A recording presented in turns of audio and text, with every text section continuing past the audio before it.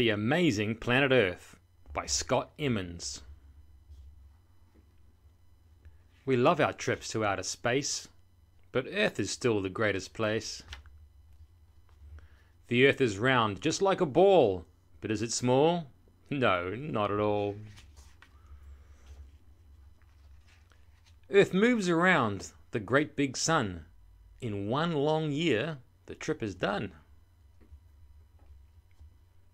And something moves around Earth too. The moon, of course, we bet you knew. The Earth's two poles are capped with ice.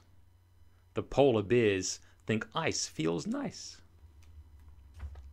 Other places get much hotter.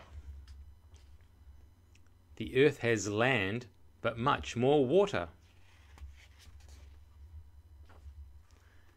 The seas are full of life, you know.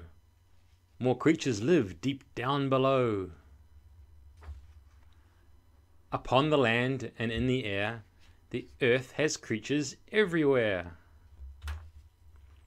Just look at all this open land, with mountains, streams, and desert sand.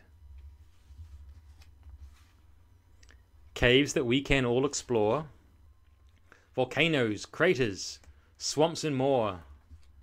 The plains are wide, the hills are tall. The planet Earth has got it all. Planet Earth rocks. It's pretty good. Stop.